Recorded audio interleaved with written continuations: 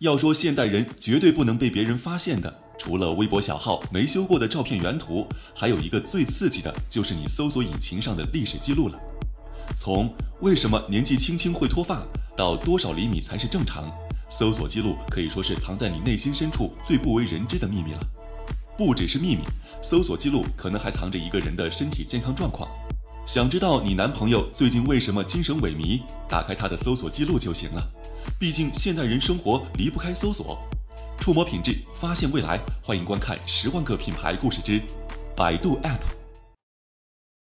在互联网的浸润下长大的新一代年轻人，当他们对这个世界充满各种各样奇怪的疑问的时候，他们首先想到的解决这些疑问的方法，不是去问父母或者身边的朋友，而是打开百度，在搜索框里敲下以“为什么”“如何”“怎么”为开头的语句。要想了解一个人最真实的一面，就应该去看看他的搜索历史。品牌哥一度怀疑周扬青是不是看了罗老师的搜索记录。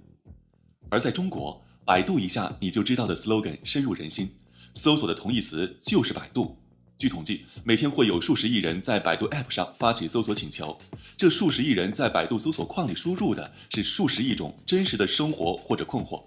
最终通过数据反映出来的是他们对于自己、对于身边人、对于社会不加掩饰的想要了解的欲望。百度 App 上的搜索记录和关键词联想，代表了当前中国人最真实的想法和最想要了解的事情。那些奇奇怪怪的问题，从主流到异端，从社会热点到娱乐吃瓜，每一个人在百度 App 上留下的都是最真实的样子。仔细研究，你可以看到这之后有一个精彩而又真实的世界。不仅是奇怪的知识增加了，新世界的大门可能也打开了。比如你在百度 App 上搜索特朗普，你会发现，大家比起中美关系和特朗普的各种发言，网民们最关心的竟然是他的头发。同一个世界，同一种脱发，真是隔着屏幕都能感受到绝望呢。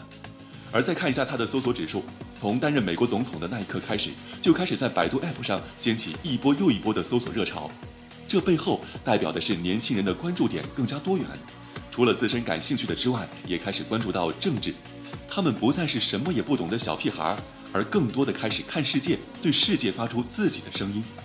而在疫情之后，消费回暖征兆渐显。以商务场合的标配西服为例，在近三十天里的搜索热度出现了百分之十七的增幅。百分之十七，这个数字显然不仅仅是波动而已，而是一段时间内压抑的消费需求开始释放的标志。当然，抛开这些冰冷的搜索指数，你会发现，我们最常百度的东西，其实都是一些很小的事情，小到怎么做红烧鱼，大到开公司需要哪些资料，搜索框下藏着的是百味人生。当你在搜索框里打出什么、怎么、何时的时候，你会发现，千百年来人类关心的主题都离不开三件事儿：爱情、金钱、成功。这些关键词后跳出来的相关检索，见证的都是一段人生啊。比如，当我们看到怎么防止脱发已经排在脱单之前时，我仿佛看到了无数九零后在搜索框中敲下这一行字的时候那颤抖的双手。除此之外，还有每一代人对于自己这一代的困惑。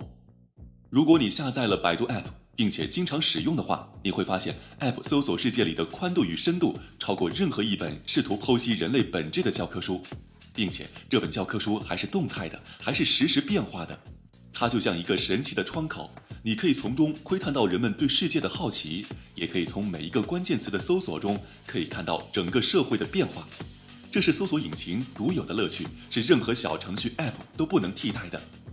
说到小程序，百度 App 上也跟微信一样上线了很多小程序。目前，百度已经吸纳了爱奇艺、快手、携程等多家公司的 App，成为百度小程序的流量入口。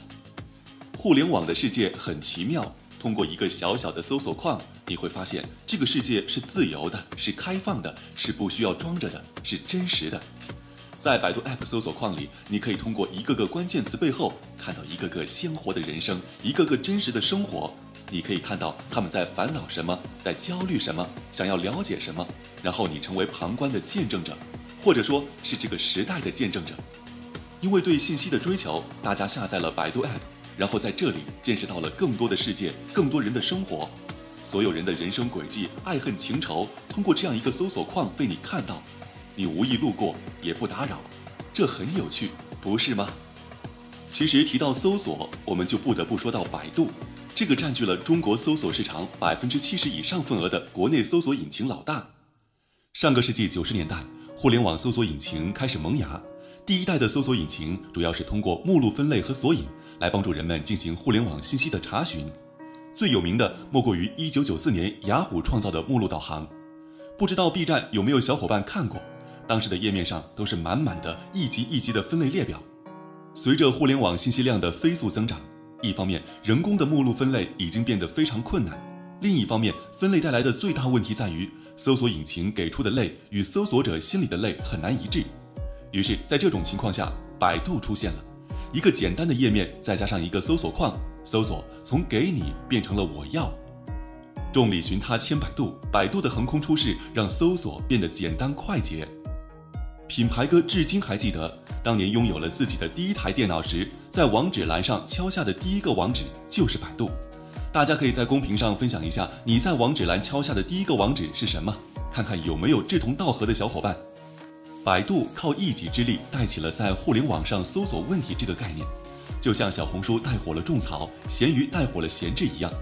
当前中国有问题上百度搜索，在某种程度上已经成为了一件理所当然的事情。但凡你内心有点小疑问，第一个想到的都是打开百度去搜索一下。但凡你朋友内心有点小疑问，你也会亲切友好、面带微笑地对他说：“百度一下再来说话。”在现代人的社交礼仪里，必备的一项技能就是：百度能解决的问题，就不要来麻烦别人了，好吗？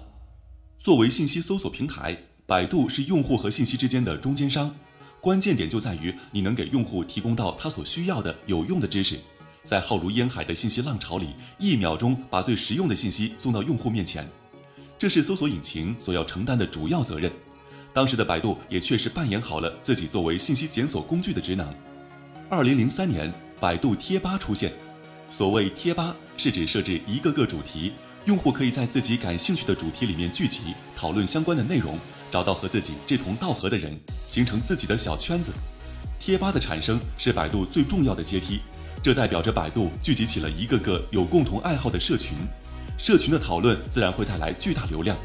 流量之下，百度日益壮大，逐渐成长为互联网搜索引擎界的王者。随着移动互联网时代的到来，我们更多的是在智能手机上的各类 App 里面冲浪，但是每个 App 就如同一个个信息孤岛，因此，一个强有力的搜索引擎是我们在互联网里穿梭的刚需。基于此，百度也开始从 PC 端走向手机端，上线了移动端的百度 App。搜索和信息流推荐是百度 App 的核心功能，共同构成了内容分发的双引擎，发力内容服务生态。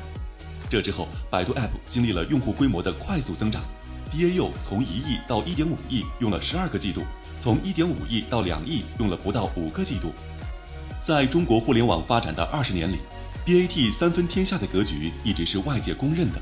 我们也总会调侃，互联网的生意做到最后都是 To BAT。虽然最近几年百度的发展一直被认为没有找对方向，错过了移动化浪潮，进军电商、外卖等领域也都折戟沉沙，但在目前的搜索市场上，百度还是独占鳌头。无论是 PC 端还是移动端，只是移动端的百度 App 也并非毫无隐忧。不久前，今日头条上线了搜索业务，依靠着字节跳动旗下产品所带来的丰富内容和流量，来势汹汹，想要在搜索领域分一杯羹。不过，今日头条会冲击到百度的地位吗？答案是不太可能的，因为即使在内部内容上，今日头条拥有巨大的优势，但在外部搜索上，字节跳动数据库内容相较百度、腾讯、阿里等平台，资源与数据积累并不占优势。另外，在技术方面，百度差不多拥有当代互联网有关搜索引擎的所有技术专利，今日头条想要突破这样的技术壁垒，并非易事。而且，经过将近二十年的发展。百度已经牢牢坐稳了自己搜索引擎老大的位置，三六零、搜狗以及阿里旗下的神马搜索都只能屈居第二梯队，市场份额加起来也远远不如百度。还有一个不可否认的事实是，作为中文搜索引擎市场的老大，百度能提供的中文结果依然是最全面、适用性是最高的。在字节跳动发力搜索领域时，知乎上曾有一个问题是：字节跳动能否取代百度成为第三大互联网产业呢？如今，B 站著名 UP 主大家的老婆半佛老师说，BAT 之所以称之为 BAT，不是因为其规模，不是因为其营收，也不是因为其市值，更不是因为其利润，而是他们在各自的领域成为了公共基础设施，并以基础设施为根基，发展出了完整的生态，并且触手伸向了互联网的各个领域。你的信息只要想全网铺开，就离不开百度。头条尽管业务凶猛，但还尚未展现出成为基础设施的潜质。技术无罪，不知道大家是否还记得快播创始人王鑫在法庭上高呼的这一句话？